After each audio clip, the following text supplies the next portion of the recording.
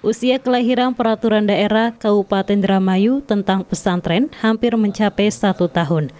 Peraturan ini pun menjadi kebanggaan bagi fraksi PKB dan fraksi lainnya.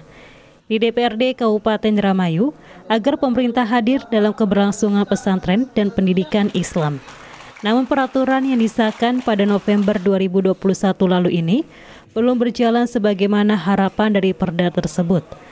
Pasalnya hingga saat ini, Bupati Indramayu belum mengeluarkan peraturan Bupati tentang perda tersebut. Ketua DPC PKB Indramayu mengaku sudah meminta Bupati Indramayu agar segera membuat perbuk terkait perda tersebut, sehingga aturan yang dilahirkan dapat dirasakan masyarakat. Kami dari PKB tentunya segera ya, karena ini Eh, manfaatnya akan sangat dirasakan oleh khususnya masyarakat pesantren.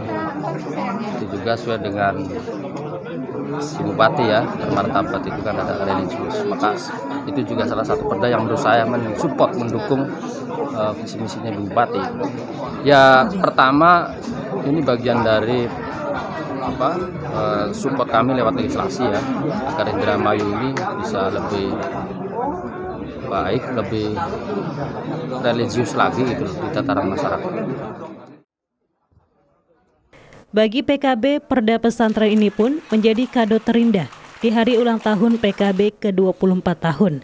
Agar tidak hanya sebatas aturan, ia meminta Bupati membuat perbub agar aturan tersebut dapat dijalankan dan manfaatnya dirasakan masyarakat.